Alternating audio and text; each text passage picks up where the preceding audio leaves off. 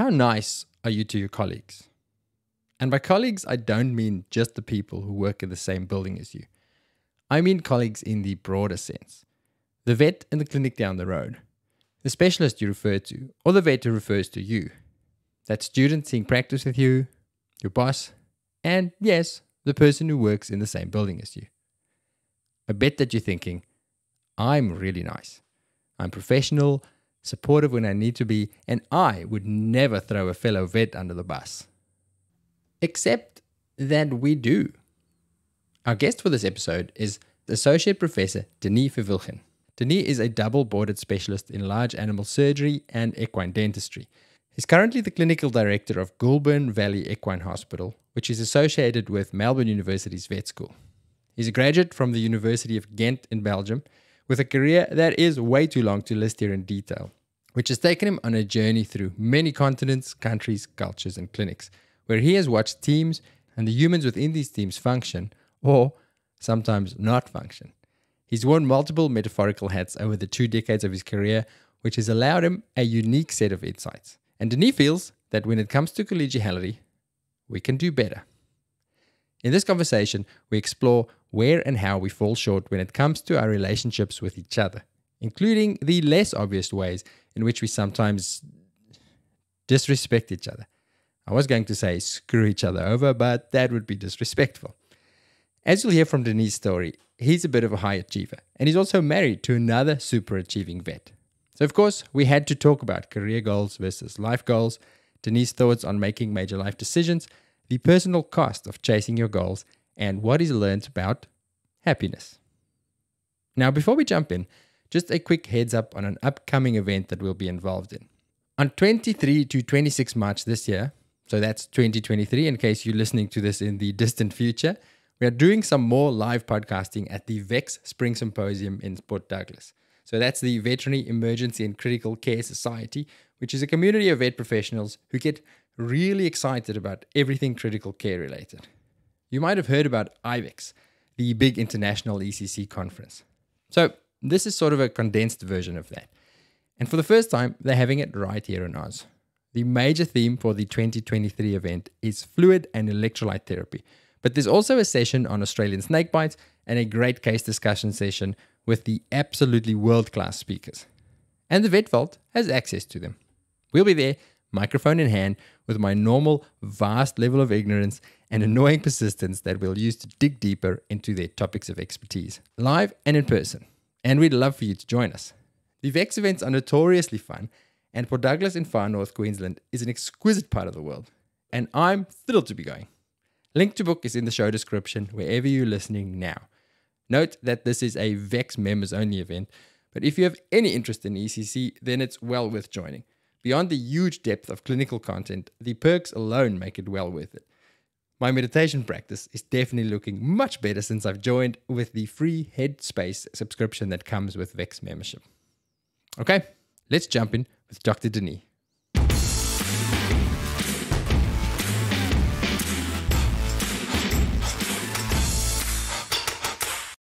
Dr. Denis Verwilghen. Am I saying your surname right? Oh, yeah, you're probably doing the best. Verwilghen? Verwilghen, yeah. Verwilghen, thank you. Welcome to the Vet Vault. We have a lot to talk about. Should we start with bad decisions lead to good stories? True or false? With an example, if you have one. Yeah, I thought about that one, Hubert, about, you know, what what would I pick? And I think the, the, there's two that fall in mind. There's the recent one and there's the old one. And I might start with the old one. They're both related. Uh, when I finished my residency and spent about seven or eight years there in, in Belgium at the university in Liège, uh, got the opportunity to go to to Uppsala in Sweden, and very much without thinking, Gabby and I, who we had a newborn. Thomas was a couple of months old. Uh, we sold our house. We put all our belongings into a safeguard and we left for Sweden, like no thinking.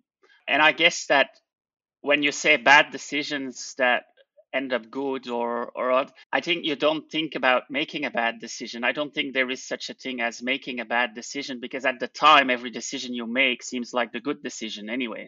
But um, we found ourselves in a, in a different country, different culture, different climate in the sense that when it was summer in Sweden, well, it's pretty much light all the time, so it was quite difficult to deal with but then also a very very different work culture and so forth. So i think we after six months gabby and i decided that you know that was it. We we wouldn't stay there and and we packed our stuff and and came back to more central europe. So what looked like a good decision initially went out to be you know probably a bad one because it was taken a little bit overhauled and full of enthusiasm.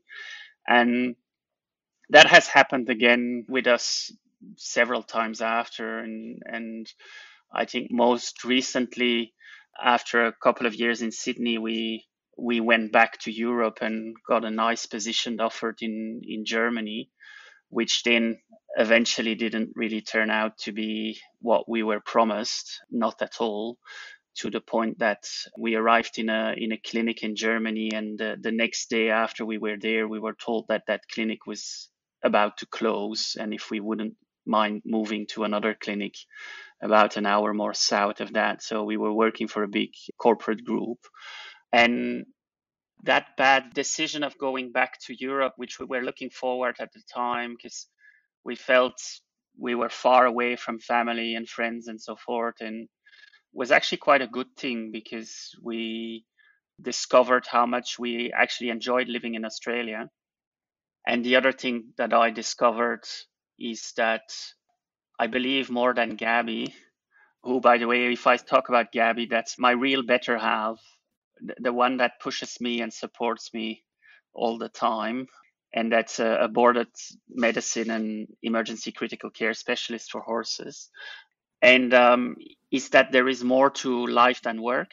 And I think that's mostly what we learned out of our back and forth trip to, to Europe is that we, we we've made another approach to to work and life than we've done for the 20 years before that. And so that what seemed to be a bad decision has actually led to very good self-development and self-awareness in that um, we're back in australia to live not necessarily to work. Work has come secondary to the life which hasn't been the case for 20 years now that's something I definitely want to dig into. But I first want to talk about your, your comments about the good decision, bad decision making. I want to try and figure out if there's a if there's a takeaway in there for you or for for listeners, because we can agonize about big life decisions like this, can't we? Like, do I do I specialize? Do I move? Do I take that job? Do I do this? And I know from our experience, the several major life decisions, moving countries, selling a business, starting things, and that desire to to know the outcome beforehand and the agony in trying to make that decision from your what turned out to be bad decisions retrospectively, but with, with certainly with good stories. Do you have a takeaway from that? Something that next time you need to make a major decision, how have those experiences influenced how you think about this? Yeah, it's a good one. It's scary but it's extremely enriching to do them and and I'm very happy that we have you know moved and made the decisions we have made. When when we had an opportunity once to go to South Africa, country that you know very well, mm-hmm. and we've listed the plus and minuses on a really on an Excel sheet about different options that yeah. we had. and South Africa really, you know, had a lot of pluses both from the work perspective as the life perspective. There was just that one minus that was the security. And so whereas the balance was like if you purely made it a mathematical balance, it wouldn't it it wouldn't add up or it would add up going there definitely no questions asked we're going uh, but because there was that that big minus about security, we we didn't do it, and that was a very calculated choice. and that's how we ended up going to Sweden. But that the, the the Swedish calculation didn't work out either. You know, security was very high, but so I think after that we've more taken things more from a gut feeling and and from seeing yeah let's just go for the adventure and thinking of it now I, I, I wouldn't do it any differently. And as an advice to people is if you're if you're thinking that that's what you want to do you know i i, I want to go and and go to australia i want to go and work in europe uh, or in new zealand or wherever whatever you want to do do it now because by the time you've thought about it too long it won't happen. It will just not happen that's exactly what i was wondering when i listened to your story is is is that the takeaway is don't don't agonize so much. Don't overthink it. And I like your addition about the, the South Africa decision. Is the takeaway from this, unless there's a major reason, like I'm scared I'm going to die, I'm sort of a decision in it, then don't agonize about it so much because really what's do it and what's the worst that can happen and then see it as an experience to say well i'm well i have a decision making about what to undertake i have two questions that i've I set my expectations differently in terms of rather than saying, well, this is going to be a massive financial success or um, it's going to look like this and this and this. It has to just meet two main criteria: is what am I going to learn from this? Am I going to learn from it? I don't even know what, but am I going to learn something from it? And what relationships am I going to build from this? Am I going to meet people, or I, is it going to be good for my relationship with my wife or my family? And if it, if those two things tick the boxes, then that's enough to make a decision and go, well, let's let's try this. What's the worst that can happen is it doesn't work and then we make a new decision. Instead of wanting it it's almost like with the decision to specialize which i'll come back to you. Try it. And if it doesn't work then stop it and do something else. Yeah but that is that's exactly it you know and and i think in those we have always looked at you know is there any major detrimental factor, which in the South African one would be the would be the danger that we considered it not. Uh, we would have probably done it if we didn't have a kid, and then just go for the experience. But otherwise, we just go. And I, I remember when we took up the position in Sydney, it was a, there was a lot of unknowns, lot, a lot, a lot of unknowns, and uh, uh, we said, well, well, actually, Gabby said because Gabby wanted to go to Australia from from the moment she was a kid, and she said, well, if if that doesn't work out, at least at least I've been to that country, and I've and I've seen that, and I've ticked that box, and then then we look further. I think there's moments in your life as well where that decision making can change. And what I see now, having a 12 year old in the house, is that the last move we now made, going back to to Australia from Germany is definitely the last one we will make for another while, a long, a long while, because I also want to provide some stability to a teenage boy that since he's been born has actually seen pretty much every side of the globe that uh, seen many of the seven wonders of, of the world which is a fantastic experience from him they speak several languages they're i mean their development is fantastic like but it comes at a cost for them as well.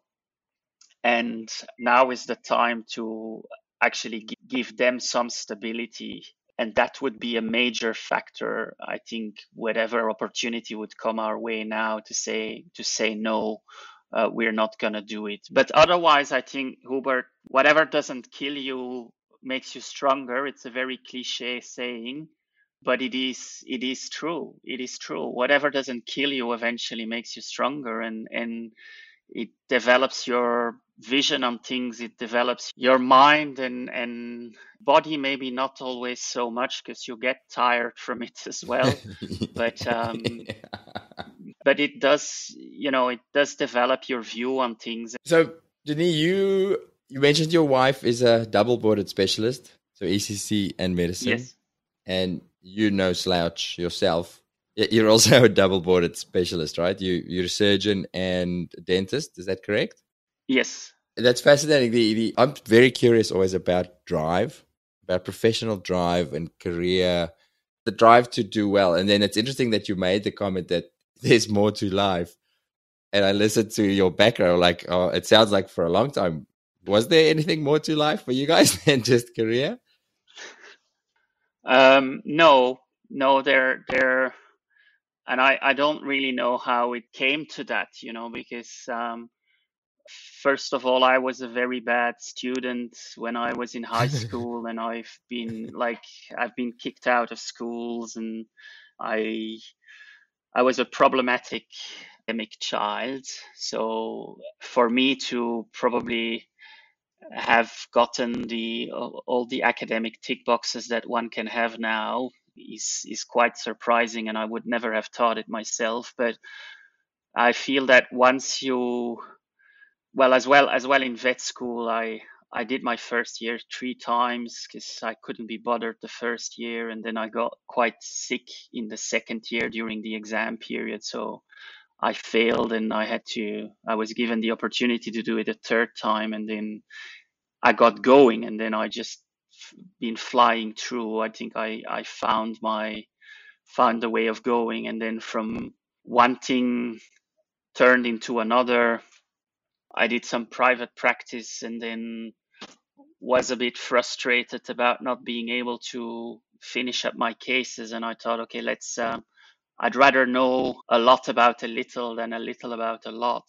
And ended up going back to academia to do a residency. And then I, t- and then in order to do my residency, I needed to do a master's. That was the, that was the game. So I did a master's and then I got the opportunity to do a PhD. So why not do a PhD? You know, whilst you're busy, just go ahead after the residency or with the residency and then you just keep on i don't know what it is then you just keep on going. You just you just keep on keep on going and and with gabby i think it was the same like you you're just having that that hunger to know and that thing about the more you know the more you share which is that is what has probably driven me or definitely driven me to go for the dental boards. And now, to be honest, I didn't do a full residency for the dentistry boards because I was part of the initial pathways where, based on my credentials, I was allowed to have access to the exams and but I still did I, I sat the whole dentistry exam. So I had to study for all and I had to go over all the papers and I had to do the practical exam and everything like that. So I wasn't given the thing for free, but I just had access to the exam. And in a way, it doesn't change what I do on a daily basis. It has definitely broadened my knowledge on the subject because I studied stuff that I would never have studied otherwise. But the main driver I had for doing that was the ability for me to then officially train someone else. So it hasn't been for my own clinical thing. Whereas when I studied for the boards, for the surgery boards and passed the specialists there, which I both have a national, I sat in both a national specialist degree in Belgium and then the European boards. That was mostly for myself. Like, as I want to be a surgeon, I want to be a specialist surgeon. The dentistry is different. My goal was to, okay, I, I have an interest in dentistry. I am recognized as part of that group. Now I want to take the opportunity to formalize that so that eventually I will be able to train people and give other people the opportunity to become specialists in that field. That was my only driver. So point is, Hubert, there needs to be a drive indeed, but the drivers are not always the same, if that makes sense. That's a great answer. The the thing I often think about and and for selfish reasons or for personal reasons and then looking at other people early on in their career is finding that balance between the desire for better, for being better at your job, having more opportunities to, you know, as you say, become a specialist surgeon or to teach somebody else. But balancing that also with the stuff we talk about all the time is giving yourself a little bit of a break, whether that is a physical break or, you know, just don't be so so tough on yourself. Finding that balance between being lazy and and still being a motivated person versus somebody who's just go go go go go and never actually has the time to have a life, as you said earlier. Was that a something you ever struggled with, or did you manage that early on? What have you learned in that regard through this massive journey of the of two of you, two journeys all in one? That I can't even imagine that. yeah, plus uh, you know, plus all the international moves and and two kids and all of that, you know, and some some pr- other professional challenges that we have taken up, both of us, or engagement in college activities and all these things that you that you take on and that you always say yes to.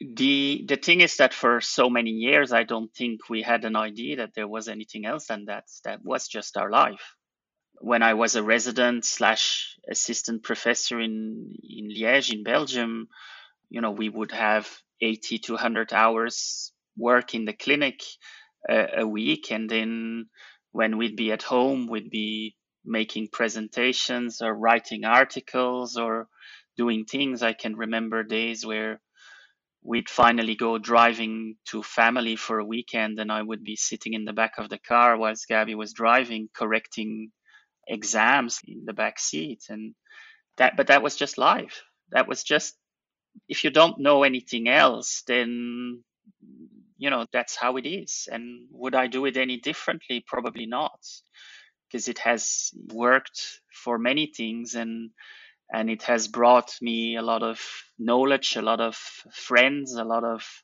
contacts around the world. It has brought me many many places and done many many great things but the thing i'm i'm looking more at is that it's not a way you can continue your whole life and i've always been mostly afraid that once i turn whatever age i will be that i can physically not have the same work pressure that i don't know what else to do you know that i that i just don't know and so now I'm more and more, you know, trying to build in other stuff and and have other interests that develop. But um, unfortunately, most of these interests would remain quite work related in in some way anyway or veterinary related or work related. Yeah, that's the exactly. Because that, that, i had a conversation last night with an old i saw a, an old university friend for the first time in two decades. And talking about people's career journeys and how it went. And we had another friend with us who's from a, from a different university. And in that conversation, we realized that at our vet school, or at least at the time when I was at, at our faculty in South Africa, there was a culture there of vet science. So the study we were doing, that's one part of life. But when we're not doing that, then we're categorically not doing that. So if we had a party or we were camping or we were going for a run or something like that, it was not the done thing to talk about anything vet related, which I think was really good for setting the standard for for a balanced life, for having that surgical incisiveness between there's work, there's life. Keep the two apart, don't mix it. And really good for, for building resilience and for getting through tough periods. I can work really hard, but it's okay because when I'm off, I'm off. So it's a good training ground for that. But I do sometimes wonder whether it was also to the detriment of my own and maybe other people's potential, well, potential, the career potential. Because I had that, I was I was coming out of uni. I had such a very very strong division between life and work that I went well outside of my work hours. I don't actually. I, did almost no CPD for a start, which is probably not the best for for a while, uh, because I just went, oh, well, I'm not working. I don't want to, anything to do with work, and the idea of studying for something. Oh, that that was I couldn't even fathom that. Now I'm middle aged and, and, looking back at my career and going, well, what could I have done? And I meet people like you and, and all these incredible people we interview, and you go, well, I could have done a bit more with my career. And I don't know, would I have been happier for it? Or I, I don't have an answer. This is why, why I like to think about these things. But I like your answer of it was a short term sacrifice with a long term view to say, well, yeah, I can do this, but but then I like that you're reevaluating, saying, "But this is not sustainable. I've, I've, this is what I've been doing." But being able to then say, "Well, now let's also try have a life and not just not just go go go all the time. I think the the word you're saying that pops in there is trying to have a life because it's it's damn it's it's damn difficult and um, you know we've Gabby and I've had clashes of culture in that way because when like i said when we were working in liège and doing the residency phd and they had these long hours and then we had this young baby was born. He was in in daycare and gabby would sneak out of the clinic to go and breastfeed him a couple of times a day and we'd leave around 6.37 to go and catch him from the daycare. Last parents picking up the young child and we'd feel we'd feel bad leaving work.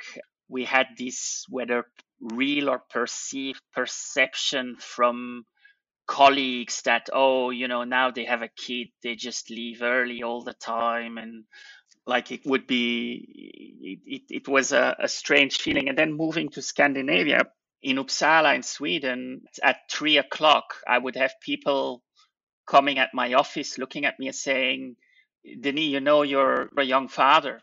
Uh, you have a child at daycare. Wouldn't it be time thinking for you to pack your stuff and go?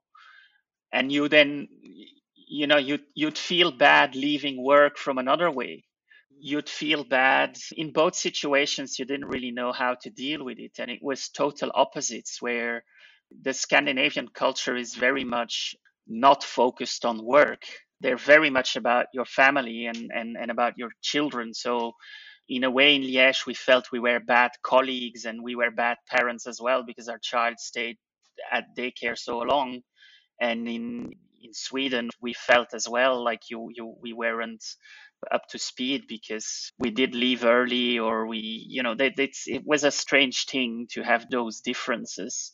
But on the other hand, like you say, you you had this clear division as a student between you know being a vet and not one of the things I've I've always identified myself as a vet from the 1st of January till the 31st of December. And having that disconnect is, is very, very difficult. And again, my Scandinavian colleagues, to a certain extent, used to be much better at that to a point that it would annoy me and Gabby sometimes because they they would leave on holidays and there would still be patients in our care for which we would not necessarily have all the information. And then we would call them in the weekend or in the evening or this and that to have a bit more information on a, on a certain patient. And that wouldn't be received well because they were off they were off. So yeah it felt strange to not being there for your patients anymore and I'm not saying they're all like that, but that's the experience that we've had. that was that. the culture. That was the culture. And on the other hand, now I feel we are never off work. Like we're never, I, I can't, I don't think I'm ever off work. And that also goes with certain roles that you take up. I'm clinical director of the hospital where I work now. I used to be head of a department in Sydney we used to be head of a clinic in Germany last year, and you have that feeling that even though you're on holiday, even though you're not on call or you have a weekend, you still need to be accessible. I get that. Hey. And that's not without consequence, right? No, and that is more, I feel that is more draining for me than to say I'm going to do 100 hours a week and I'm going to write papers and I'm going to do presentations and I'm going to just do cases, but then I'm going to have 24 hours where I can close the iPhone. I can be off this world. But the fact that things just keep on coming from whatever angle, I find that much more draining than anything else. Denis, that's a, that's one of the main reasons why I decided to sell the, the business I had because I, I found that, and I had a very supportive team like they were happy. Uh, if you speak, if you interviewed them, they'd say yeah, they'd never had a boss that t- took so much time off for camping trips and family trips, and because that was my goal. So I, I built the business to be like that. But what annoyed me, then I'd be in freaking Bali on a holiday with my family, and I'd be in the surf where I want to be in my happy place, and I'd sit there worrying about some freaking client complaint that I know I'm going back to, or some staff issue or fact that I don't have staff. And that I've just drained me, drained me to the point where I was like, I had a great business, but it made me very unhappy. I, I couldn't actually, well, I, I, couldn't, I could cope with it, but I felt like I didn't want to. I said, no, that's not how I wanted. And I admire people who, who are good leaders and have that ability to to separate, to go, well, yeah, I've got less to worry about, but worry about it at the right time. Have you have you gotten better at that, or is it something you're still learning? I'm probably better at it than I used to be, but but indeed, what what worries me most for the moment is is it's not my patients or it's not the veterinary part of it. It's it's more the human resource part of it and and the management part of it that keeps me awake, and that keeps me ruminating and and it is one of the things that we actually told about initially having this podcast is about how kind or unkind we are for for each other within the profession and that is potentially what keeps me awake mostly. So it's it's not the real it's not the real veterinary thing that pressurizes me the most. It is the human nature of the game that i would say i suffer i suffer the most of. Quick interruption for some exciting news You'd have heard me talk about our clinical continuing education podcasts in Smalley's Medicine, Surgery and Emergency and Critical Care that all live at vvn.supercast.com. Now we are thrilled to announce that we're expanding the range with a brand new higher level surgery podcast for vets who are studying for the Australia New Zealand College of Vet Surgeons surgery memberships, or anyone doing a surgery internship or residency, or just anyone wanting to really take their surgery knowledge to the next level. We're partnering with surgeons Dr. Bronwyn Fullagar, Dr. Chris Tan, and Dr. Mark Newman. All amazing surgeons and, more importantly, excellent teachers and mentors to create a one year program of content based on the Australian New Zealand College of Vet Surgeons membership exam syllabus. We're sticking to what we know, so it'll still be primarily a podcast with the goal that it can be used as a study aid or a revision aid or just an easy way to get stuff into your head and expand your knowledge while you go about your everyday life. We're also planning Q&A and discussion sessions for subscriber with these speakers of ours. And as with all the other clinical podcasts, there will be notes to refer back to for revision or reference. It's still a work in progress with an anticipated launch date late in Feb or early March this year. But in the meantime, if you want to go on the email list to be notified when we do go live and get more information, email us at vetvaultpodcast at gmail.com and we will keep you up to date. Okay? Back to Denis.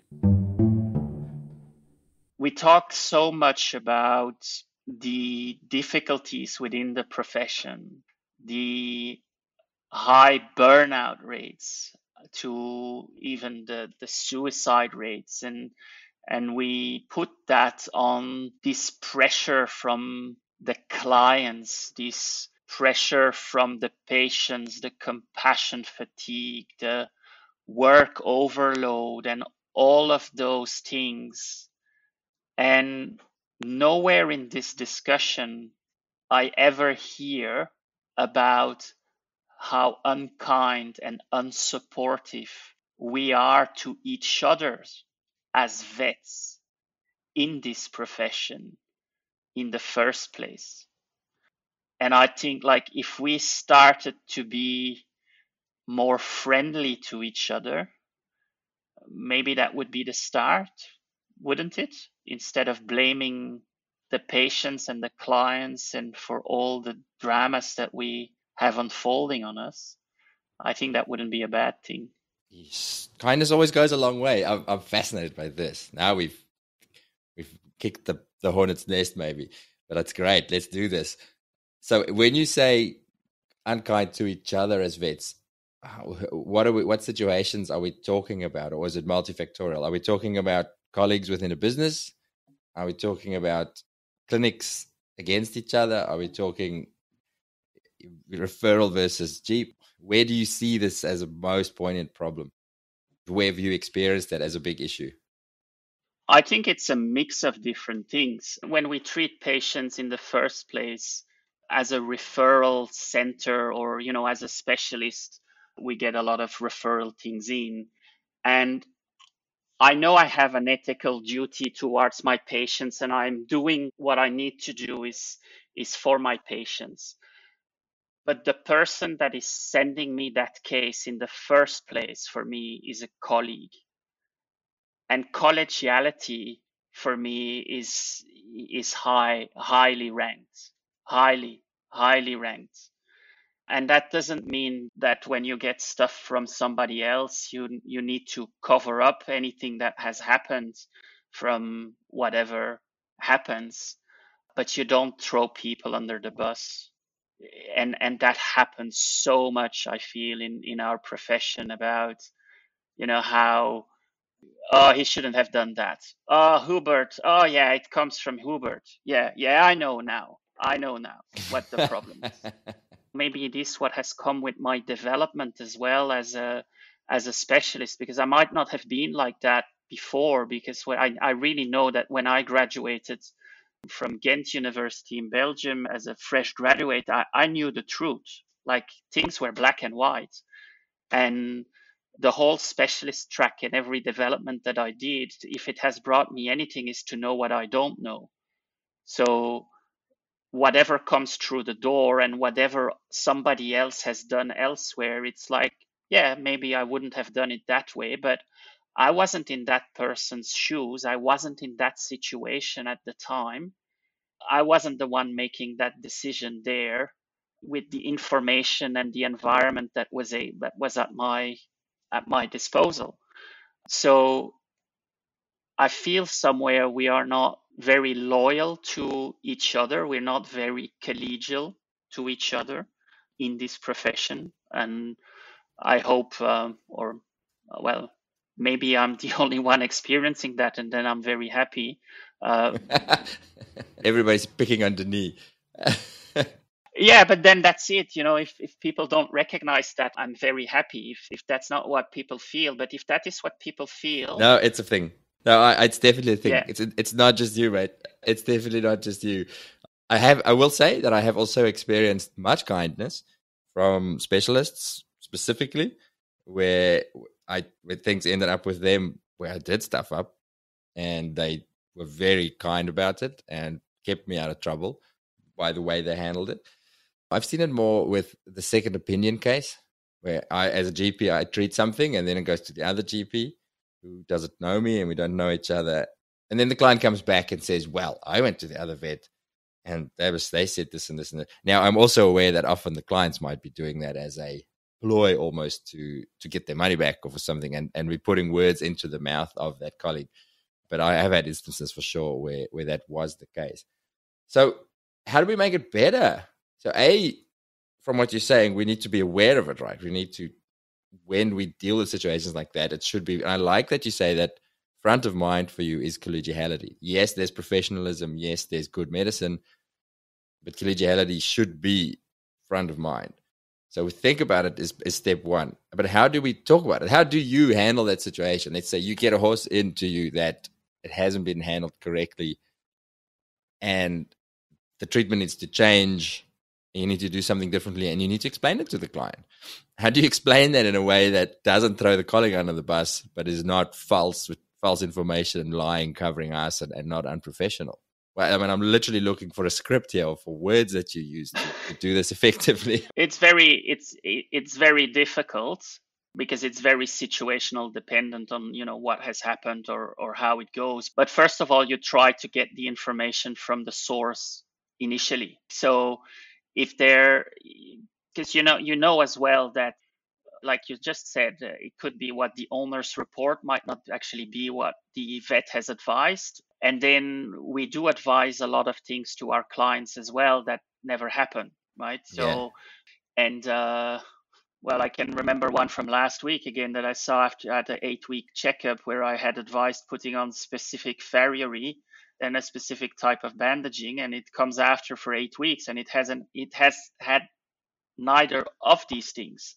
And that's you know my own case with my own advice where the client has just neglected. The only thing has come has come after eight weeks to seeing that the horse is still not better but how do you want it to be better if you haven't done what i asked you to do?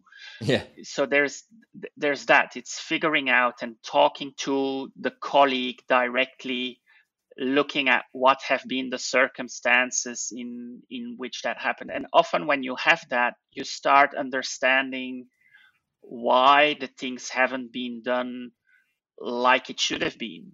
You know we could get horses in that have a ruptured stomach that are referred in for colic that have a ruptured stomach and you'd say why did the vet not put a stomach tube? Like come on you should put a stomach tube how how yeah. you know this first first thing you learn in vet school put a stomach tube come on mm-hmm. so you can have that attitude but then when you ring the colleague and you say this and this is what and and that colleague says yeah you know i'm very sorry. I was thinking of passing a stomach tube but i was in the middle of a field in the mud in the rain with the floods uh, with a 16 year old that was unable to hold his horse with a horse that was rearing up. The best thing i thought was i just i can't examine that horse here and i can't do the right thing. I need to refer it.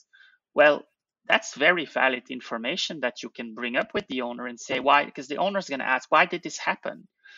Well you'd say well ideally indeed it should have had a tube but your vet has referred your horse here just exactly because of that because he wasn't able to do in those circumstances that he was put in what he needed to do. And so now you're here and yes your horse has a bad outcome but that is not due to a mistake from your vet. That is due to circumstances. Hmm. And if you don't know these circumstances you may make comments to that client that throw your vet under a bus. Does that make sense? Yeah, yeah, for sure. Look, I, I obviously working in emergency for the last decade and some, it's a common thing. It's not a second opinion. It's just that the thing that your colleague saw earlier today is now much worse, and now it's at my door. And it, it, I used to have that judgment of going, "Oh, come on, you should have fucking just." exactly like the stomach tube situation. You, why did you do this or something? But I've left that because exactly over time speaking to people and getting the full story. There's almost always a story, even if it is just that I was too busy or I was just tired or I just, you know, humans are humans. You, you do miss stuff. Sometimes it is a, it's an education issue. So sometimes when you speak to people, there is a, I didn't, I didn't know. I'm, I haven't seen these cases before. And then it's a, an educate with kindness to say, well, here we go. This is what happened. It wasn't ideal these are the things we would normally look out for, but but not but to the client, especially a don't say anything to the client unless they ask. And when they, they will often ask in emergency, they'll often say, Well, why didn't my vet X, Y, and Z? And the answer to me is always just, yeah, keep in mind it's very easy for me now to make this diagnosis because things have progressed. If I was your vet eight hours ago, I probably wouldn't have done this. I probably would have done the same. I could we could have done this and this, but it's very easy for me to say in retrospect. And I'll say it outright. So I'll say, by all means, ask them. But but I imagine eight hours ago this was a very different situation. So don't make assumptions. And I'll so I'll I will actively defend vets, not lie, but defend them for sure but but that is the that's the difficulty, yeah, Hubert. There is sometimes, you know, it's a fine line between lying or or covering up and defending or being collegial sometimes. Yeah. And like like you said, the easiest thing is when you have a client that doesn't ask the questions. It's more much more difficult when when you have clients that ask the answer like doc hey doc was there really nothing else we could have done and and you you have that sometimes you you know you have i mean fractures in in dogs and cats is a bit different because you just put them in the back of a car and but um, i sometimes get x-rays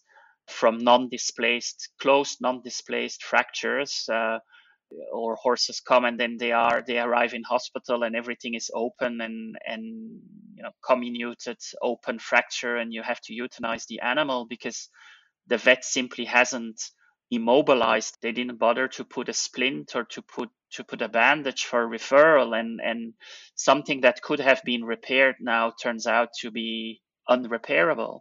And when you then get the question, is there anything more that we could have done? It's sometimes very difficult to have an answer to that question. But again, that, that without going into specifics, I think the message for for us as a community is to be thinking about those things, whether you're a specialist or whether you're a GP.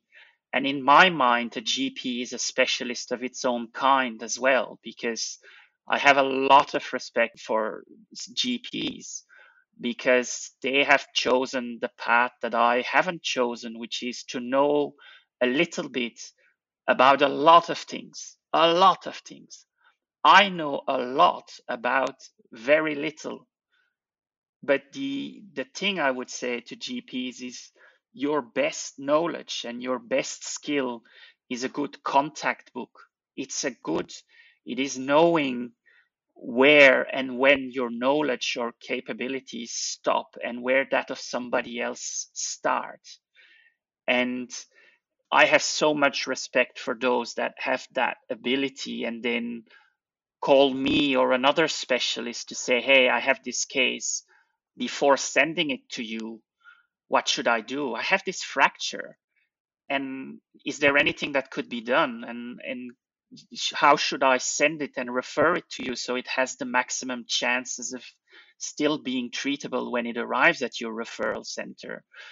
And that's the kind of communication I feel we should have as well. And that is kindness and collegiality with each other, that collaborative way. But we're to a certain extent far too commercial as well into, oh, let me treat it myself until uh, I can't do anymore because I'm afraid of losing the client because if I send it to that clinic, it's not going to come back. Or the referral clinic, oh, I have a case and I'm not going to send it back. So, I, yeah, commercials and aspects. I'm trying to be self critical and think of cases that I haven't referred over the years that I should have. Part of it's probably ego, a little bit of like, well, I I want to fix this. I can. I want to figure it out. I want to make it happen. Just you know, you don't want to give up on a case and, until it's too late and you go, oh shit, I should have just sent this ages ago. So it wasn't always fun. Again, um, in the days when I wasn't a practice owner, I had no direct personal financial benefit to keeping it. I just wanted to fix it and try stuff. And it's a, uh, it's ignorance. It's ignorance as to uh, exactly that, not knowing what you don't know. So you treat and you blunder forward and you do stuff and it starts going wrong. And probably with, with more experience, I now know much sooner when it's go, starting to go south. I start recognizing, going, "Oh, this is this isn't good anymore. This is beyond me. Let's make it somebody smarter's problem." So it, I think it's an experience thing as well. Learning. It's it's not always doing it almost maliciously. And it is, and and you know, but it is not only that. It's not only from GP to specialist or or, or vice versa. It's some. It's also between specialists or between specialisms and between specialists. And you know, I've seen that in very much in, in very many places that this attitude of it's my case. It's my case. So I'm gonna deal with my case. I'm a surgeon and I have a post-op colleague, but I will deal with it. I have a specialist in medicine or emergency critical care in the house, but I'm not gonna ask his opinion because it's my case. So because it's ego. yeah, yeah, it's, it's definitely ego driven, and that is a thing. It is to the the biggest skill is eventually admitting that you don't know, and that's damn difficult, damn difficult. Mm-hmm. And and I am I am very much aware of it myself, and even then I find it difficult sometimes that I'm like ah you know, I you, should. You just did it again, didn't he? yeah, yeah, did again. Yeah, I, am sitting here trying to figure out why. Why do we do the throwing under the bus thing? Like, what? It makes no sense at all. but Like, if, I think if you ask anybody reasonable, if I sat down here with another vet and they'd say, "Oh no, no, I wouldn't, I wouldn't do that. That's a dick thing to do." Yet we do it all the time. And I, th- I think ego is the answer. And I'm going to say this. Maybe people think about this and they might be offended but ego in two ways. You're either doing it because I feel so shit about myself that I need to put somebody else down, the colleague whose patient I'm seeing. I need to put them down so that I feel better and look better, which is really toxic. Or I think so much of myself that I think I'm the only one with a valid opinion and I'm the only one who knows what to do, which is equally it's equally shit, really, isn't it? I don't know. I'm sure there's more to it, but that's what I get to now. Maybe if you think about it that way, to go before I badmouth that client, before I say that snarky comment to my nurse even about the comment, never mind the client. Try and look at why am I why am I about to say this? What is it about me that makes me feel like I need to put down somebody else? Well, if you're in the latter category of the one that, you know, thinks so highly of himself that he's the only one that's right, I think you can't be helped, Hugh. Um, and and I truly think that that category does exist, but it's a very small proportion. I think mostly when I make bad decisions, I make these decisions is because I'm in an area where I am insecure about myself.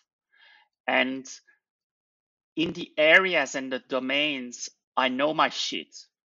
When I really know my shit, I am much more amenable to actually accept that I don't know, if that makes sense. Yeah, 100% makes sense. 100% makes sense. Yeah. Well, it's because you know.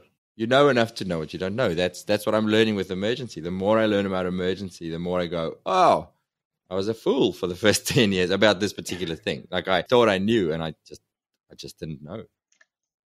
And that's because you're hanging on so much onto the only truth you have available. And the more you know about a subject and the more experience you have in a subject, the more you realize there is no such thing as black and white, and there's so many shades of gray available, even more than 50, that, that you look at the thing in a whole different way.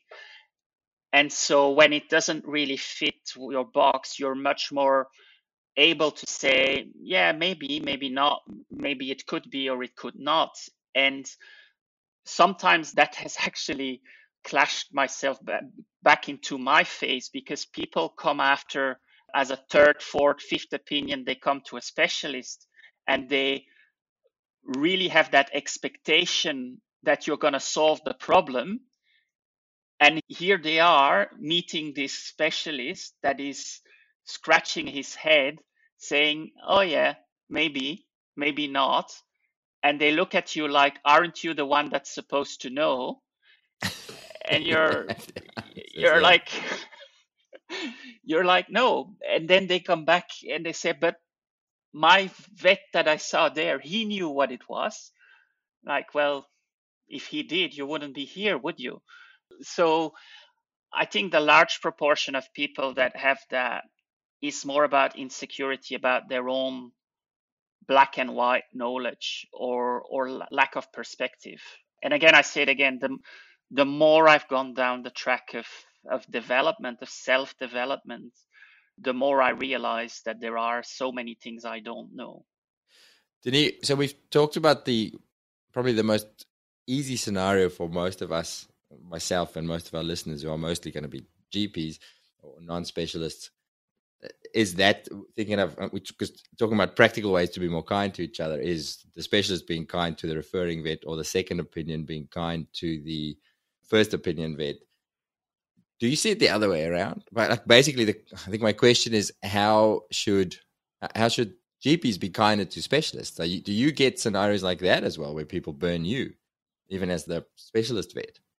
Yeah, I mean it goes both ways, and, and like it goes in between specialists as well. As although I think that between specialists, I feel there's less of that because most of us or most of us that have been specialists for a while do do realize but yeah i can see it as well from from the perspective of gps i can think of a recent case that we have a you know a mare coming in with a dystocia and they send it in you know obviously to get the foal out. Hopefully it's alive. It is sent in as being mentioned. It is alive on referral but stuck you know so has to come out. And I'm so proud of my team because in, in about 20, it was 23 minutes, I saw the float coming on the parking and I looked at my watch.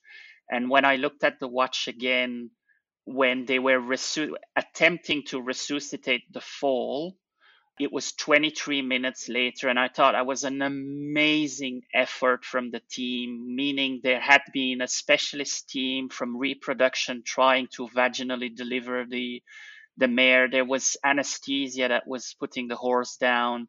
There was a surgical team with the whole abdomen clipped and washed and prepped in a surgeon gown to be ready to do a C-section which didn't need to happen because they vaginally delivered, and then the ECC team medicine resuscitating the foal. And the owner got a bill for three and a half thousand for that, which is ridiculous money. Ridiculous low low money. I hope you, I hope you mean ridiculous low. Is that what you mean by ridiculous? Yeah, it's ridiculously low money for what has happened. Yeah. And she complained it was too expensive. And her GP backed her up in that and said, yeah, they shouldn't have charged this. And, you know, why did they resuscitate the foal? They could try to resuscitate the foal and and things like that because it was dead. And, you know, well, then don't send it in, you know, then we don't. So my whole proudness of my team fell apart by these comments from the clients and then this backing up of the GP mostly that I that I would have hoped and expected the GP to to say, yeah, no, that's the way it is. And actually, you know, I I would have expected the bill to be twice as much or, or more for what they did and what they tried, but but that wasn't the case. So it goes both ways. Yeah. So supporting the, the specialist. And I think again that comes from a lack of understanding, having been on both sides of that of that spectrum. So again, an emergency, that's a common thing. Are you guys over happy that you're there, but emergency clinics overcharge. They charge too much. Why is that twice as much? I can do a C section for X, you do it for two X. That doesn't make any sense. That's just that's just gouging. That's that's unethical.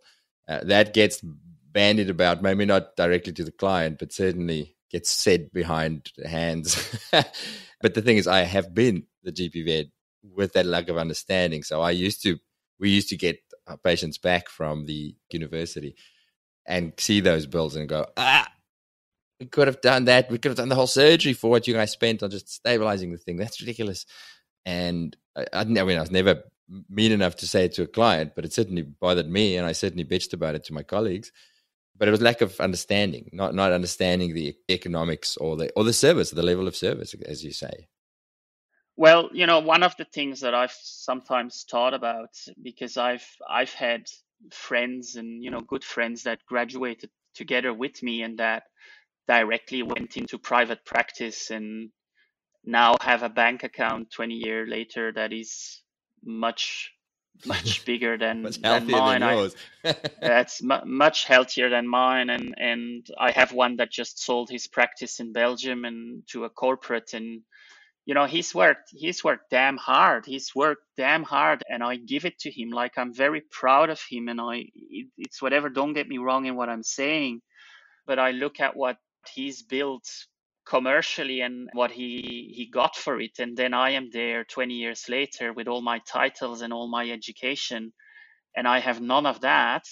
And when i try to charge more because i'm a specialist and that people come to me for my advice they don't want to pay for it. Like they don't want to pay for it because they don't see the difference. And somewhere that's a bit of a kick in the nuts? Uh, it's a bit of a kick in the nuts, yeah, or or it could have to do with my ego again. But then again, I I never did what I did for the commercial aspect of it or for the financial aspect of it. But it's a bit disappointing, and and it, this is also a very difficult discussion because this comes uh, like in the human field.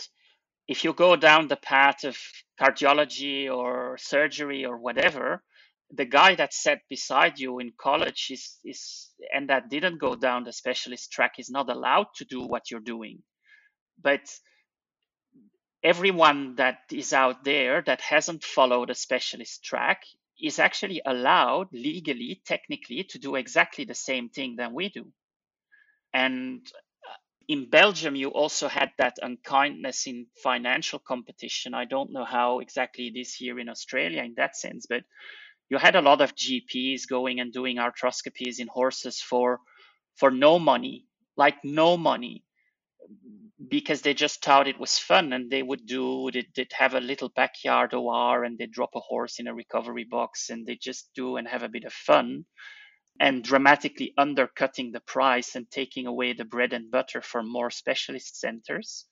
And that's also unkindness to the profession. That is also unkindness and disrespect towards other people that have put in a lot of effort and personal sacrifice into obtaining those credentials and this development and level of skills and knowledge to perform a very limited number of acts. Because by taking that away you know they're also taking and, and undercutting the price for me it's, i also consider that uncollegiality if if i hope you see where i'm coming from I am. It's a light bulb for me because I've never thought of it like that. Because the odds are, I like to always look at motivations of why people do things. So from the perspective of the guy undercharging, it's either going to be economically driven. So that's a that's not a, a noble driver, but I, I'm going to undercut you so I can do more, so I can make more money, and you don't get the money. Or as you say, they're doing it out of a a curiosity or, or sometimes from what they perceive and what they believe and what is to some degree as a service to go well these things need to get done. Not everybody can afford specialist bills and i signed up to fix animals so i'm going to fix it at a price that i think people can afford. So they come of it come i've certainly done that where you you come at it from a place of what i think is heroic almost. But i've never considered it that i'm actually being a dick to the person who is really skilled at doing it and charges a decent price for it. There is a, an aspect to it that I've never actually considered. Thank you for, for pointing that out. Well, the first thing, Hubert, is that I don't always consider myself a specialist. I'm just a trained surgeon, you know, with all respect to people. When you graduate from vet college, you're not a surgeon. you I mean, you're you're not trained to be doing surgery in in all these things. Like we, we are miles apart from human specialization and in veterinary specialization. I think in small animals, yes, you have more of those people that will focus on the left stifle, right? And that only do surgery of the left stifle. But I go from an abdominal surgery to an upper airway to an arthroscopy to a fracture fixation to pulling a tooth to doing that. Like I'm a trained surgeon that's what I am. I'm not. I, I, yes, I have specialist credentials, but I I have learned how to do these. And the difficulty sometimes, as a specialist or as a trained surgeon, is that anybody that graduated together with you has the same rights and the same possibilities of doing what you do without restrictions and without having had that training if, if that makes sense I, I would like to throw this scenario at you. If you have some joint, like your knees hurting, you just went running and your knees hurting, and you go to your GP as a first instance, and lovely lady she is your gp like she's fantastic and she's she's very good and she examines you very well and she said well uh, your knee seems a bit puffy there and and uh you may have a meniscal tear and stuff like that. And she shouts to the background to to her husband that helps her in the practice and she said, John, could you clean up the kitchen? Because we're having an arthroscopy this afternoon. I think you'll run out very quickly, even with your sore knee. But this is reality. Yeah. This is reality in our profession. It's changing for sure. I, I maybe I, I, I, the circles where I move in, but I did I, I do feel it. I'm sure it still happens, and sometimes it happens through necessity because you are the only vet for forever, especially in Australia. So you do it in the kitchen or it doesn't get done, and you do your best at it. But I think the the younger generation are, are much more prone to going, well, if there's better available, I'm going to offer better if they don't accept better, well, then I do my best with what I have. Do you agree? Do you, do you feel like, or, or is it is that a, a smallest thing again? Do you still have a lot of that going on in equine? I think you have much more of that going on in equine and even much more of that going on in farm animal, which is a good thing because exactly as you say, you have to look at the circumstances as well. And if you're a human doctor in certain and I don't like to use the word third world countries, but less, or as the WHO says it, countries with restricted medical resources, this might still be the situation as a GP human as well, right? it could be exactly yeah, there and right. that's that's what you're going to get and i always say if i go out on a trip in bush australia in the middle of nowhere. First equine facility is at 24 hours truck drive. And i have a horse with colic that has a surgical diagnosis that needs to be opened. And the only thing is i have is a swiss knife and some baling twine. I'll get some hot water and let's open it because that's the best chance that animal there here and there will have. Because if i don't do anything it's dead. And it might die with my intervention. As long as i can humanely help that animal i feel i have a duty to do it. But if i am in center sydney and i have a hospital at 20 minutes drive that same approach is unacceptable. Yeah, suddenly your baling twine is not as attractive anymore, right? exactly. Exactly. But um yeah i don't know how we got into that now no, no, that's gold. I'm, I'm also thinking that, that that was it's been a good journey, but I think it's very essential. We've not discussed this before, and I've not actually thought about it that much, and in the way that you express it. And I think it's a vital conversation. Kindness to kindness to colleagues is how we got into this, and we're talking about how Yeah. what does kindness look like, and this is a kind of a kind collegiality that I've not considered. So thank you for for bringing that to my attention. the other thing i thought i we had talked about that i wanted to discuss with you was the concept of happiness hmm I have it written down. what does it bring up to you what is happiness for you Oh, that's a question. Are we talking? So I always, I'm always mindful. This podcast is for vets, but are we also humans? Because I often try to define what the vet vault is, and in summary, why do we do the vet vault? It is, and, and I sometimes struggle with the correct words. That is to help veterinarians create X kind of lives around their veterinary degrees. But what's the word for the X? It's thriving, sustainable, and really, the, the word that I always want to start with is happy careers. Uh, We want vets to be able to build happy careers and lives around their veterinary degrees. But I don't use happy because what does happy look like? What does happy mean? It's such a slippery term. So, what does happy mean for me? I think it's an individual thing. I think it depends on your values. It depends on what's important to you. What does happy mean for you? So, I, for personally, it is autonomy, peace of mind. Peace of mind for me is happiness, right? So I could be, like I said, when I was surfing in Bali, in the in my happy place, I wasn't happy because I didn't have peace of mind many times. So how do I achieve that? Now that's the question. What does what does happy look like to Denis? Yeah happy is the same thing you know for me is happy is is exactly like you say it's being in that happy place where you feel safe where you feel loved where you feel respected maybe where your where your ego is brushed in the in the right direction. But above all i think for me happiness is reality minus expectations. And i i don't know where i got that saying from or or wherever it has been but it has stuck with me for a long time and it has proven to be a very valuable definition when i feel unhappy and that i look actually at what actually were my expectations of the situations and, and how that met reality.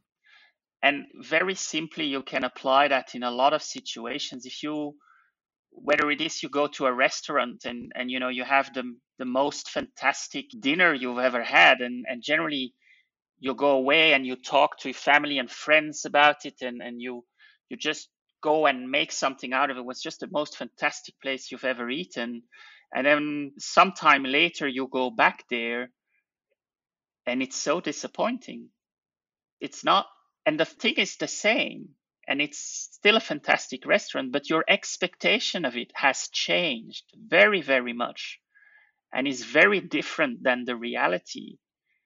And the re- but the reality hasn't changed. And so all of a sudden you're not happy with the same situation. So when I am in that situation where I feel I'm not happy with this, then I think, you know, what was actually my expectation compared to the reality? And this is a thing that is also when we were initially talking about, you know, our journey and, and Gabby and I looking more at, at life than work now. every move we have made before this one or before the last one we did back to Australia has always been for work reasons. When, even though it was Belgian, when I moved to take up my residency in Liège University, it was for work. When we moved to Sweden for work, to Copenhagen for work, to Sydney for work, back to Germany for work.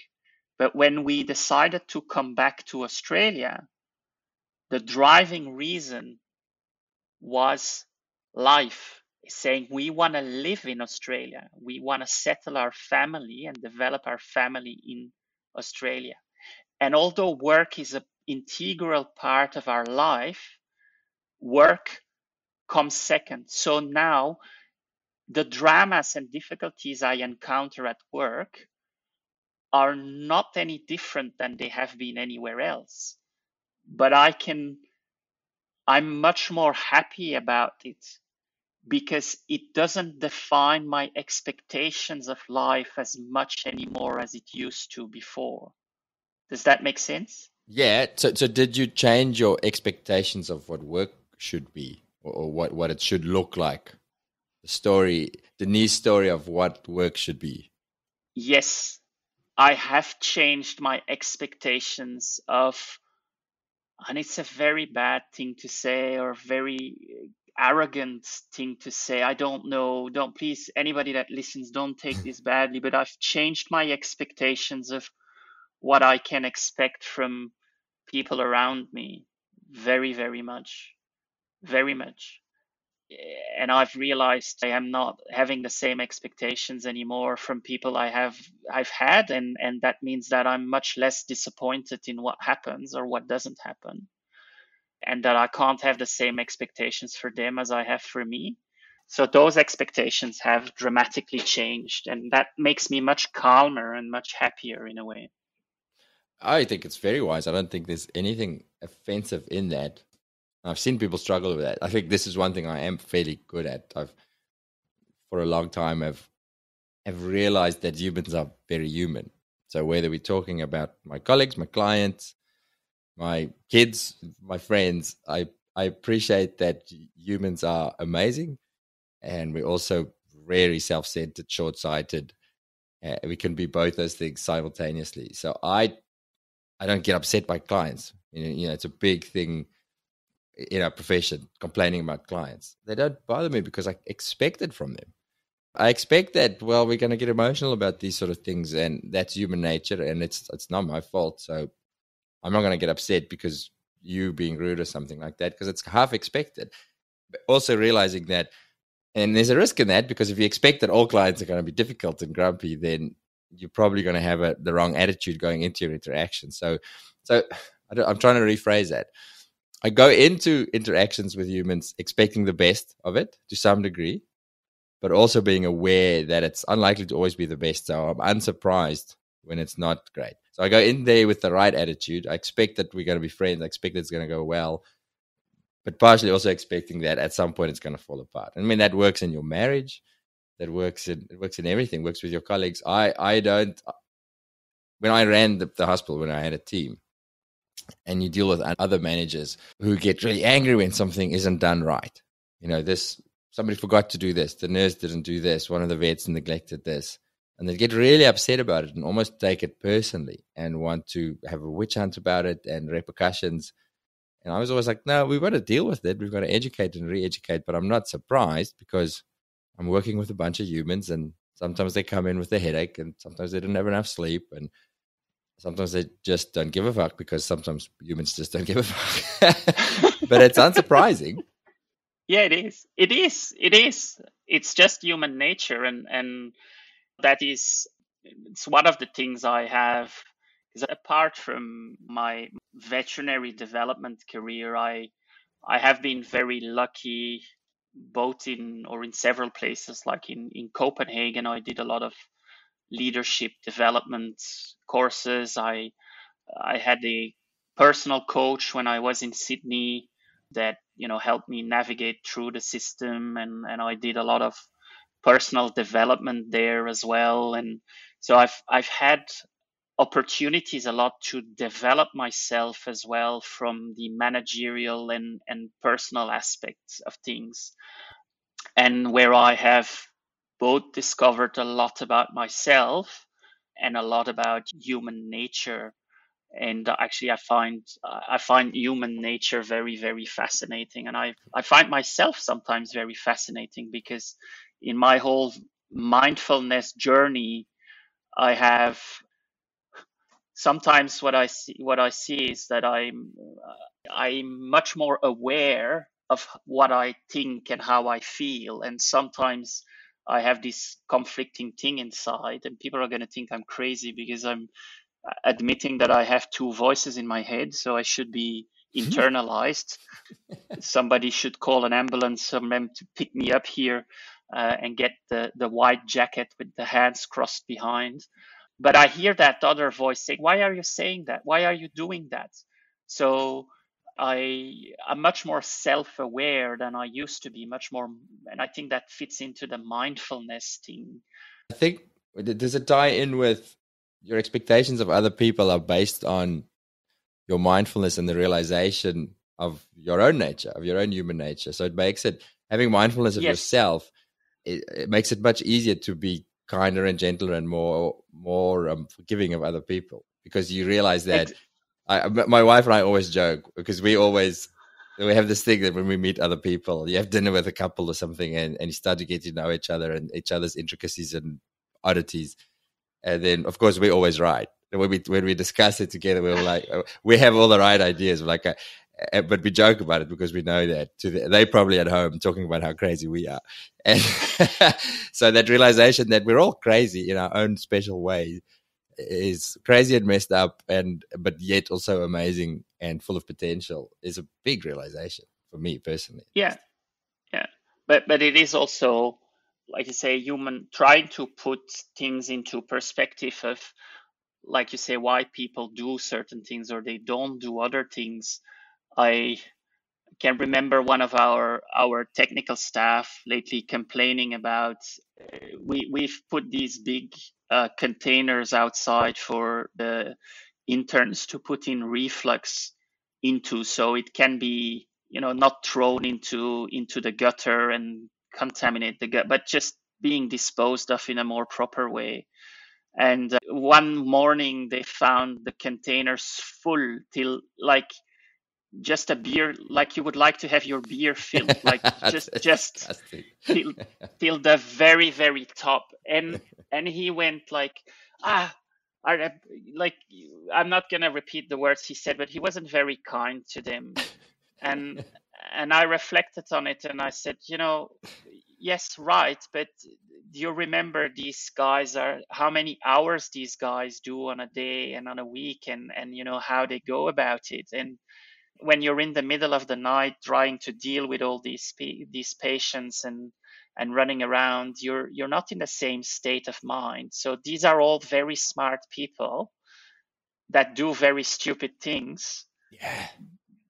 because of circumstances because of circumstances. And if you halt for a moment and think of that you can't get upset.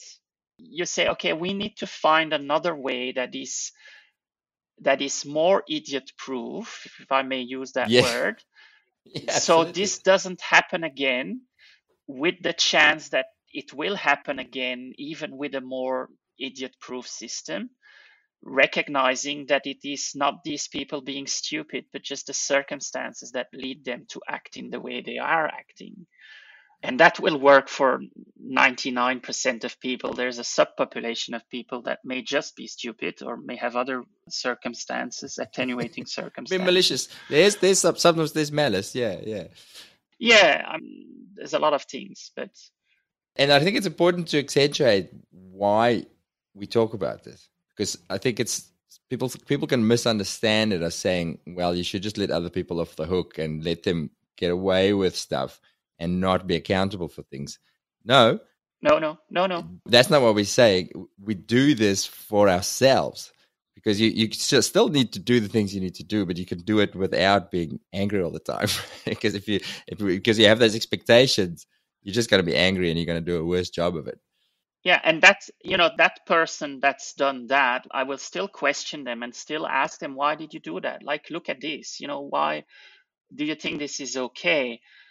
But I will not eat myself from the inside and think like, how how stupid can you be or whatever, you know, this kind of self-destruction and and because I'm trying to find a way to understand why people came to that decision or that thing that they did. And sometimes I it, sometimes I can't find why I can't find why people do certain things, and then I get upset. I think I just realized how I learned this lesson, how this became a thing for me.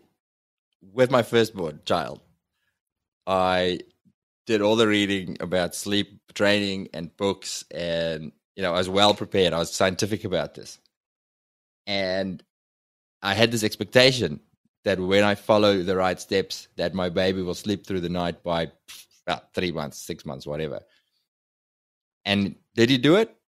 Of course not. He would sleep through the night for a little bit, and then something would change, and I would investigate it like a clinical case. Why is he not sleeping? I'm going to find the solution for this. And my mindset around that, based on that expectation that my baby at this age should be sleeping through the night, made me really unhappy. I was angry at, at my child for not sleeping through the night because my expectation was that you should sleep through the night because I'm doing all the right stuff. So why the fuck ain't I sleeping through the night? And when I and, I, and it took me the second child to realize, let go of that expectation. Sometimes babies don't sleep and we don't know why. It doesn't make any sense. Extrapolate that to human. That's a little human. Extrapolate that to an adult human. Same thing. Sometimes we act in ways that are not rational if you expect rational behavior from humans all the time, you're going to be angry all the time. So let it go. Let go of the expectation. but I, I hear something else there, Hubert. I hear something else which has come out of many personal development things that I've done and coaching together with Gabby and things like that. Is this inherent wish for us males, apparently, and maybe even more accentuated in those that have a surgical wish or background is the the willingness to fix things and so what you've just described to me what i hear there is yeah you have that expectation for the kid to be sleeping. And mostly what you're trying to do is fix his sleep. You're very focused on fixing his sleep and you get frustrated because you can't bloody fix the thing. Yeah. And I see that in the relationship I have with Gabby or with other things as well. Is I'm I'm often trying to fix things, and there's a very nice YouTube video about uh, it's called the nail. Oh, I love it. yeah, have you seen it? it? I have, uh, it's one of my favorite internet memes, but let's describe it and then we'll put it in the show notes. it's it's just most fun and it it describes a lot and describes a lot of the relationships we have as as as husband and wife maybe or whatever at least it, it did come into my life in that environment. So you have this you have this couple having a conversation on a couch and the, the woman talking about i think her her headaches and her recurrent headaches and the guy is trying to point out to her things continuously continuously. And initially in the video you see the the woman from just from the back side you don't see her face you see her from from behind and she's complaining about these headaches and the guy is trying to point out that there is this nail in her forehead and that you know we if we could just take out the nail and she's trying to tell him that she just wants him to listen to her. So it's just yeah, yeah, people have to see it and then people will understand. But i think that is also what frustrates me often is this this inability to be able to fix it or to get it done and that leads to frustration and unhappiness as well whether it is personal or professional life now i love that video I, of course i interpreted the point of that video that that, that they should just let you remove the nail and things will get better. yeah, but no, she just wants to have her story. But like you and I look at it, just get rid of the damn nail, your problem will be solved. Don't moan yeah. about it. But that's not what she's after. but I, I mean that thing about you know happiness is reality minus expectations i think it it comes back in a lot of things whether it is what we just talked about but also veterinary business and how you develop your business and if you look at having happy clients and that is you know looking at what is their expectation of your service compared to the reality that you can give them and we see it a lot when when clients are not happy about mostly clients are not happy about communication around the service and the financial aspects. And the financial aspects are generally well, if you've been quoted a, a thousand bucks for something and it ends up being fifteen hundred, then you're not going to be happy. If you had been told initially it's going to be fifteen hundred and it ends up being fourteen hundred, you're going to be very happy.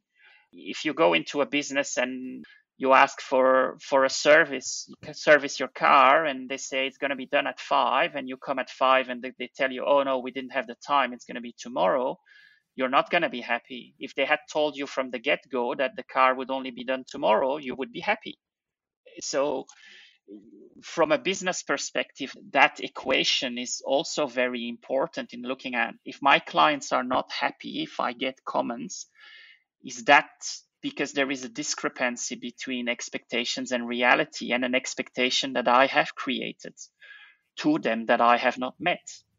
I've heard the same thing being said about because people talk about the massive staff retention crisis.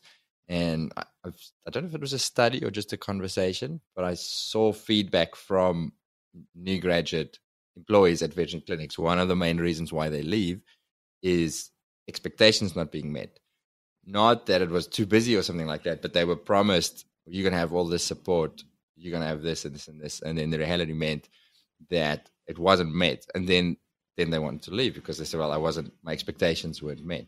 And and that has been for from an employment point of view. In, a, in many places that Gabby and I have been, and most particularly our last experience in Germany for that big corporate was that the terms under which we were hired were absolutely not what we got and and the job was a fine job in in a way but it didn't totally didn't meet the expectations that we had negotiated and then it does become unhappiness so i can see where you're coming from when you say and and it's very difficult in trying to attract and retain people because obviously when you attract vets you're trying to oversell a little bit. Like, you know, you're not putting an advert up long, crappy hours in crappy, moldy building with disgruntled old nurses looking after you. Um, you don't advertise that. So, but I think that the, what I see, the, we have difficulties attracting vets, but we have much more difficulties retaining vets. And that is something we have much more power to actually do something about than attracting them because retaining them, you're close to them. Denis, I can talk to you all day, man. We need to do another. This is some, it's very insightful and um, you've obviously learned a lot. You smarter beyond your two specializations. You're also very wise. And uh, I think we need to start wrapping up though. Otherwise, we'll be busy for, for days and days. we will. We will. Let's do the wrap up questions. Do we start with the with the, the pass along question first? The the one we, we're trying the new thing where I get the guest to ask a question that I need to ask the next guest. So first, I'm going to start with the question from one of our previous guests, and the question is there's a classic question, but there's a twist to this one, which I really like. The classic question is if you were not a vet or in the vet profession, what would you have done? But added to that is if somebody comes to you with a, it's like the, the red pill, blue pill scenario. Take the red pill, the other job that you would have potentially done, take this pill and it'll change. And tomorrow you'll wake up and that will be your career. But you will lose all of the experiences and knowledge that you've gained in your veterinary career. Do you take the pill? So a what a what is the the other career, and b would you make that switch? Uh, yeah, I think I would. Um, obviously, if you that depends. If you say like, would you start from scratch again, or would you have the the same type of knowledge, but in a totally different area.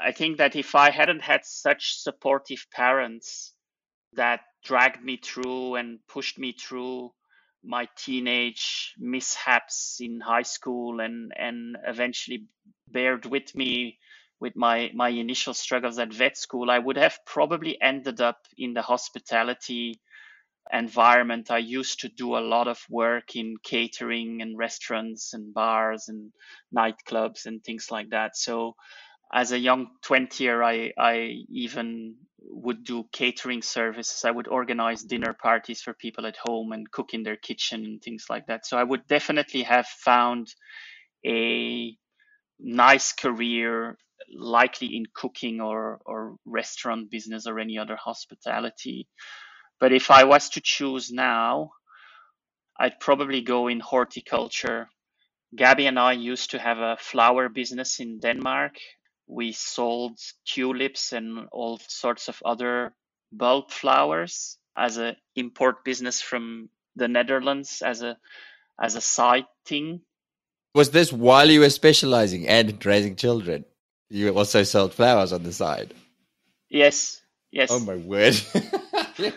no, I was a specialist already, but that um, we I was uh, associate professor at Copenhagen University in that time, and and we had a little flower business. And I really have a passion for for bulbs and flowers. It's one of the biggest disappointments in Australia is the cost of flowers, which is ridiculously high compared to what it is elsewhere. But I would I would see myself having a life, and I would definitely take that red pill or blue pill or whatever pill and have something to do with with the flowers that's for sure. I can find peace and happiness amongst flowers and gardens and things like that. It certainly smells better than the inside of a horse's abdomen. Right? Definitely all right Denis, um, podcasts do you listen to podcasts and if you do what should i be listening to I do listen to podcasts. I listen to yours, so you should listen to yours every now and then. Thank you. And um, I I do listen to yeah quite a few of them, and I'm mostly interested in those that have to do with human behavior. There is one that I believe somebody in one of your podcasts brought up, and it's called Hidden Brain, which is about yeah things that happen in our brain, hidden brain, which I like a lot. I listen to the TED Talks daily or several from the TED Talk education and, and these kind of things. I listen to one that's called Sexology as well, which is also about obviously about about sex, but also about human and, and relational behaviors within that area that I find quite fascinating and interesting. And then I listened to a couple that would maybe suit you, but unlikely our other audiences because they are Dutch spoken from Flemish radio that are more about news facts and also some of about human behavior and, and human psychology. So Ooh. I should give that a try. I wonder if I would be able to understand enough to actually, especially if it's complicated concepts. Probably, probably not quite, but it should be a good challenge. You should send me a link to your favorite one, and I'll see if I I'll give it a, make a challenge, a mental challenge for myself. Well, the one that was my favorite one was is is actually uh, they stopped after ten years, which was called uh, interne keuken or internal kitchen, um, and they were mostly discussing non-fiction books. And in the non-fiction book series there was often a lot of human psychology, behavior, but also politics or things like that, or historical facts that would come over. But they've unfortunately stopped after 10 years, but there's still 10 years of material to listen to. All right. And then your. Oh, wait, I never asked you. What's your question for the next guest?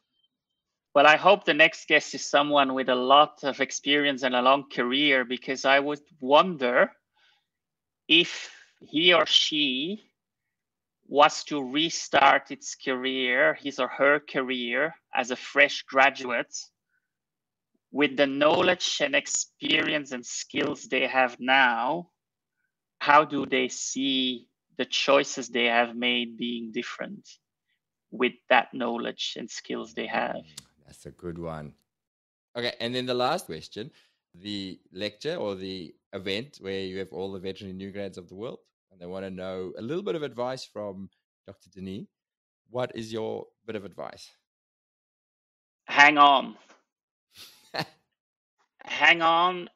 I don't consider myself the smartest one in the room, neither does Gabby, if I can allow myself to talk in her place. But we've kept with it. We have kept with it. And if I compare, we, we I had somebody I used to co-house with as a student in Ghent, and she kept on failing her exams and she kept on convincing herself that she was working hard, but she really didn't. She was just not putting in the hours, she was not putting in the effort.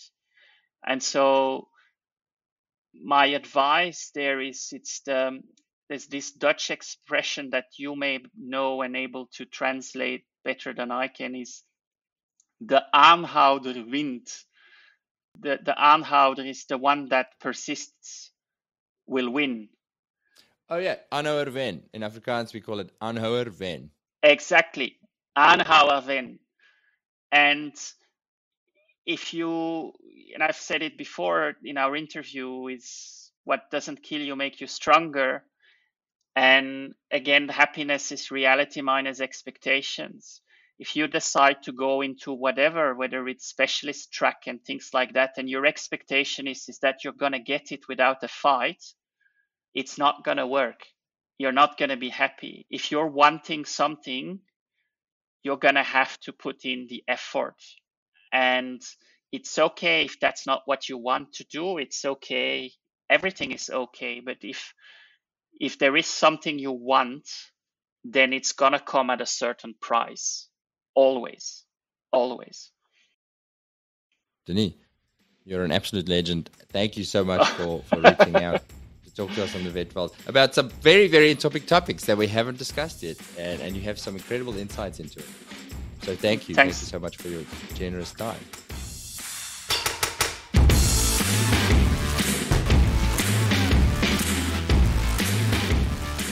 How are you feeling about work for the year ahead? We started this podcast to help you find ways to make your vet degree and the career you build around it fit with the life you want to live. Or if that's too ambitious, then at the very least, to make work not suck. And I personally thought that the answers to a fulfilling, happy career as a vet lay in personal growth and better workplaces and all of the other non clinical stuff that we talk about. Which is true. But something that surprised me when we started doing the clinical podcasts was how big a role that played in my personal enjoyment of work.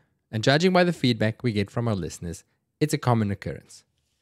Here's why I think it is it sucks to feel in the dark with your cases, to feel green or rusty in your knowledge. You feel guilty because you feel like you should know more and you should be learning more, but you're also trying to have a life outside of vet. So ongoing learning falls by the wayside. On the flip side, it's a really nice feeling to know your stuff. When you get that case, to know the answer, or if there isn't an answer, to know that it's not because of your lack of knowledge, it's just one of those cases. Competence breeds confidence, and confidence is key. And our clinical podcast is the easiest way to work on your competence. Little bits of growth every week with minimal effort on your part. Try it. It works. Join our growing community of Vet Vault nerds and get your mojo back at vvn.supercast.com.